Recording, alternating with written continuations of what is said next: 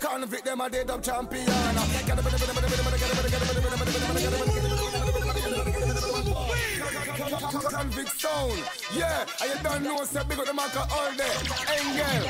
All player, P, Master C, and. General Session, Convict. Bonjour à toutes et à tous, euh, bienvenue sur ma chaîne. Donc euh, vous êtes en compagnie de Warer HD. Aujourd'hui on va se retrouver sur un jeu qui s'appelle Quake 4.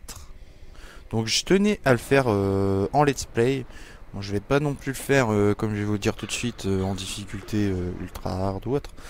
Moi j'ai plutôt envie c'est de vous faire voir aussi ben, un jeu qui était à l'époque bah, une, référence, surtout sur les consoles comme la Nintendo 64 euh, et aussi sur PC, en l'occurrence Quake. Donc là, on va pas se casser les pieds, on va le faire en soldat. Je voilà, je tiens pas non plus. Bon, ça c'est pas grave, c'est parce que j'utilise un autre compte, hein, donc vous inquiétez pas. J'ai peut-être changé l'image des profils plus tard. Mais euh, voilà, là, c'était pas l'image de profil qui m'intéressait, c'était surtout le jeu en soi.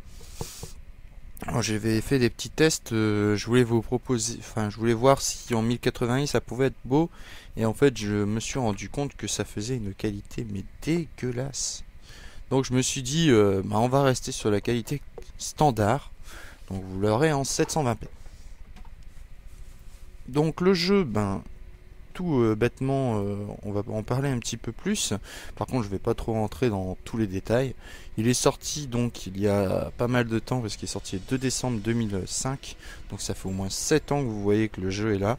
Bon, c'est sûr que les prouesses graphiques à l'époque étaient extraordinaires, mais là, vous allez me dire oui, mais là c'est un peu moche pour l'heure actuelle, c'est sûr.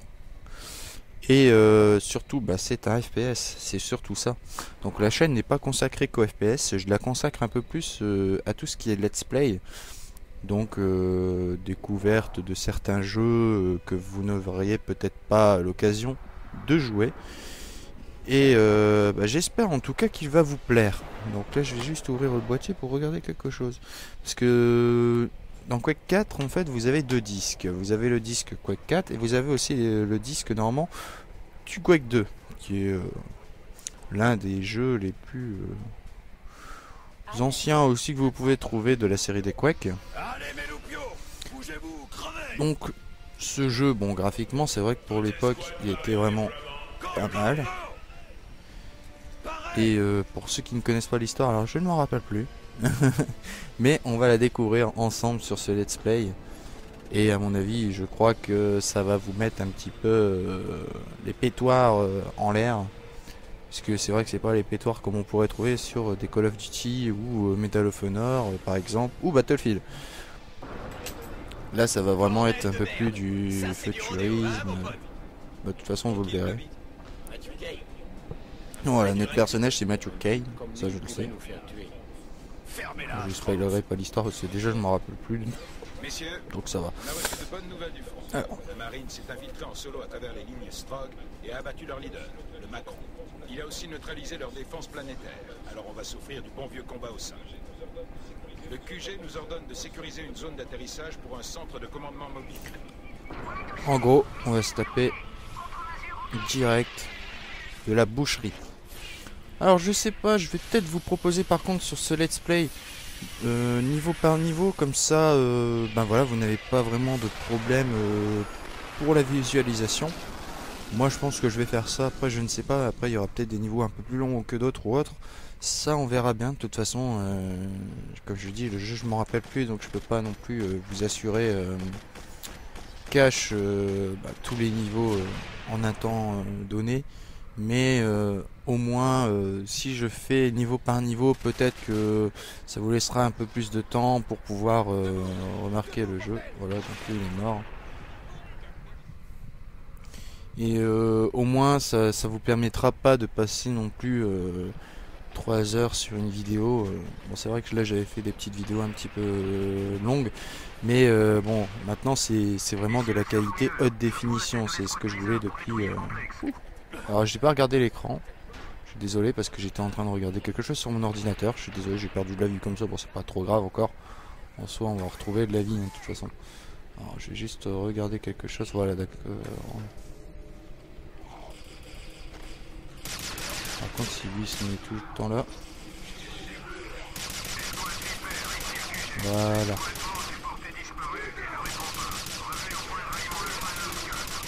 Ok. Donc là, vous voyez, en fait, les ennemis que nous avons là, ce sont des scorgs. Et euh, ce sont donc les véritables ennemis du jeu. Vous en aurez plusieurs sortes. Donc là, j'avais juste repris un petit peu la main sur le premier niveau, juste pour voir un petit peu euh, ce que c'est. Mais par contre, si vous remarquez bien dans le jeu, ce n'est pas comme du Call of Duty où euh, on respire et hop, on regagne sa vie. On est obligé de se retaper le bon vieux système qu'avant euh, redoutait euh, énormément de joueurs, les fameux medikits. Et oui. Parce que dans ce jeu-là, c'est vraiment un jeu à l'ancienne.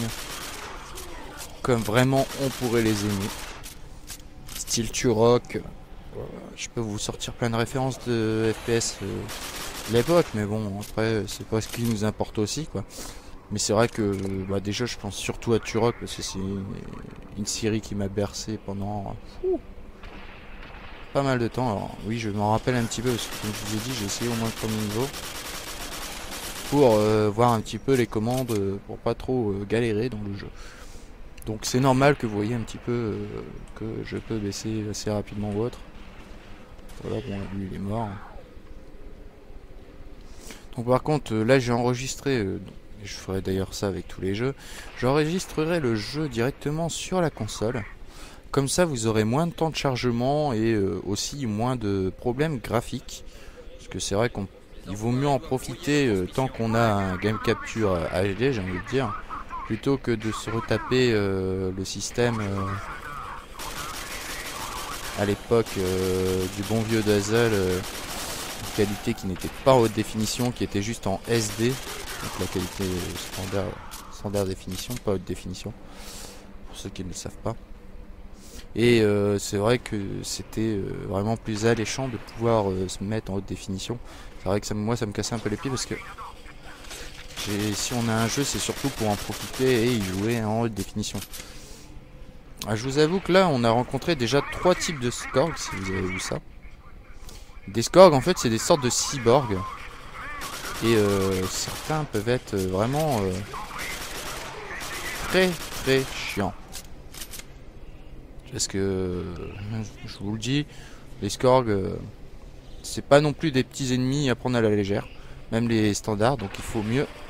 Voilà, comme là, vous voyez, on peut trouver des scorgs vraiment un peu tout partout.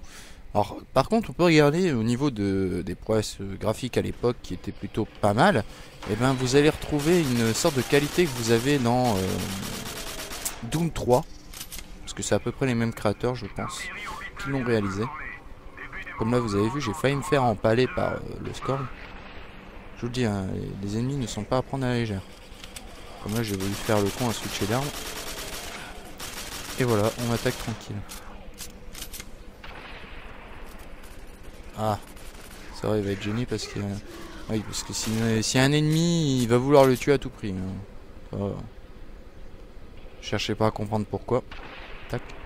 Comme vous voyez, on a tout le temps une lampe de poche. Par contre, je, me rappelle plus, mais je crois que sur Doom, euh, il fallait faire gaffe. Euh, je crois, euh, on pouvait pas équiper une arme en même temps, un truc dans le genre. Je sais qu'on avait un petit truc sur Doom qui était un peu casse-pied à l'époque, mais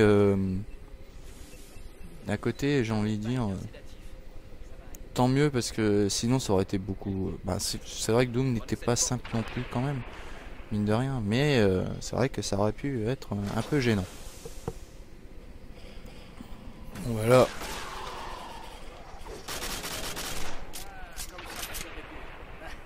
Bah vous voyez. Ça j'aimerais bien avoir ces fusils à pompe aussi. On l'aura bientôt, hein, ne vous inquiétez pas. Donc là, on va arriver au terme de la vidéo. Je sais, ça risque d'être des vidéos très courtes. Pour certaines missions, je vous l'avoue.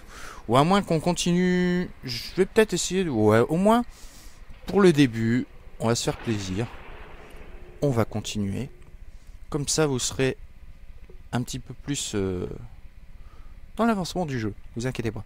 Mais après, euh, je ferai vraiment euh, niveau par niveau, même s'ils sont très courts, je suis désolé. Bon, s'ils sont vraiment, je vois très très courts, on va entamer un deuxième. Mais euh, si c'est une mission qui, qui m'aurait pris vraiment beaucoup de temps, euh, c'est vrai que euh, je privilégierais plus de continuer plus tard plutôt que de me casser les pieds à, jouer comme ça. Alors je sais que là, je vais m'en prendre déjà plein de dents, voilà. Donc faire très très attention, toujours rester à l'écart de ces scores. Parce que je vous avoue que même ceux-là, hein, mine de rien, même s'ils n'ont pas le truc pour vous empaler, ils font mal. Hein. Donc faire très attention. Ça peut être vraiment une ambiance plutôt. Ben déjà, ça, ça soit c'est un peu crade, il y a du sang partout, etc. C'est un peu, c'est un peu glauque. Mais euh, je vous avoue que le jeu, moi, à l'époque, ben, vu que j'étais un peu euh, dans la lignée de ces satanés euh, Quake, j'ai testé le premier, j'ai pas réussi à le finir sur Nintendo 64 moi à l'époque les PC, ben, j'avais pas de PC, hein, j'étais pas comme tout le monde non plus. Et euh, j'avoue que par contre Quake 2 sur euh, je l'ai testé sur les deux plateformes par contre. Je l'ai testé sur PlayStation et je l'ai testé sur le Nintendo 64. J'avoue que j'avais une préférence, je crois, c'était pour celui de PlayStation. J'étais un peu plus habitué aussi à la manette, mais euh, c'était pas vraiment exactement le même. Donc pour les personnes qui veulent le tester, ben, vous pourrez voir quelques différences entre celui sur Nintendo 64 et celui sur PlayStation.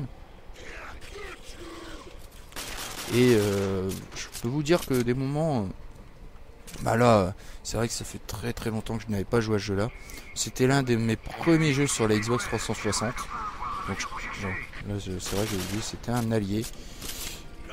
Et euh, je vous avoue que ben, pour mon l'un de mes premiers jeux d'Xbox 360, ben, ça me plaisait de jouer un jeu comme ça.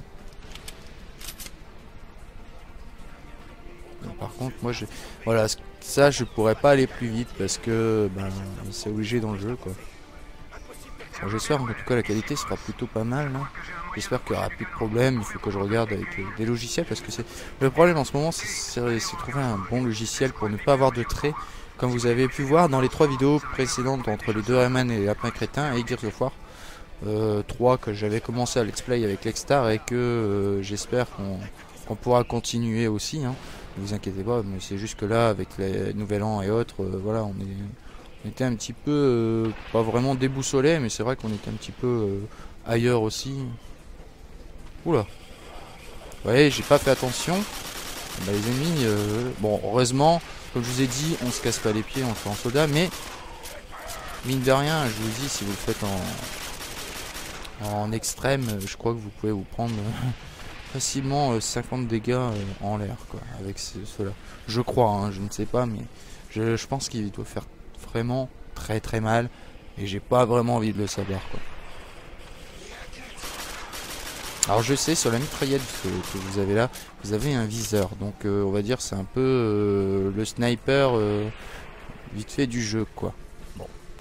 Donc là les amis, bah voilà, comme je vous ai dit, comme je vous l'ai promis, bah on va se quitter sur ce niveau. J'espère qu'en tout cas la vidéo vous aura plu. J'espère que ben, vous regarderez peut-être Quake 4 euh, ou d'autres euh, let's play. Ne vous inquiétez pas, je ne partirai pas que sur du Quake 4. Sur ce, je vous dis à une prochaine fois. On se retrouvera donc au niveau 3 de Quake 4. Pendant ce temps-là, amusez-vous bien et à la prochaine les amis.